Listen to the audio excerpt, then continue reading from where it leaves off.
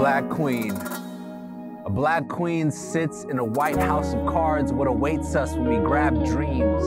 2021, we're playing a new game. Tectonic plates shift under green landscapes and capitol buildings. Black figures who shook the world to level the playing field for us with a new set of cards that we've been dealt, like Carol Moseley Braun.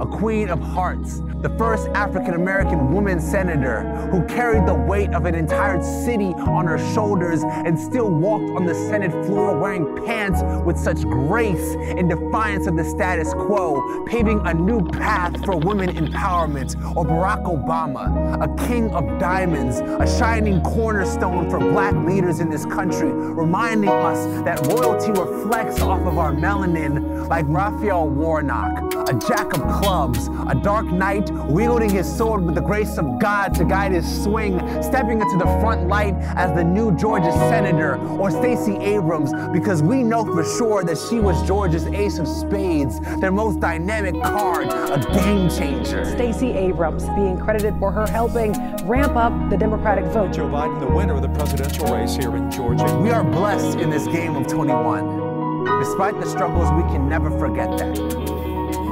Because it's not just the cards we have in our hands, it's how we use them. Yeah. Black queens, black kings, black lives doing black things. Cory Booker's in Maxine's. We the cure like vaccines. Perseverance in past dreams. I tell you about it, just ask me.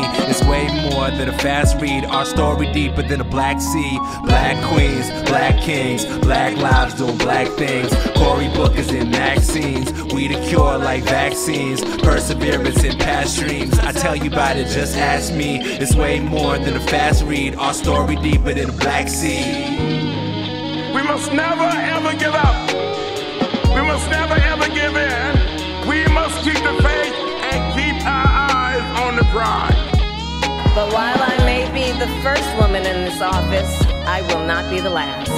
Dream with ambition, lead with conviction, and see yourselves in a way that others may not, simply because they've never seen it before.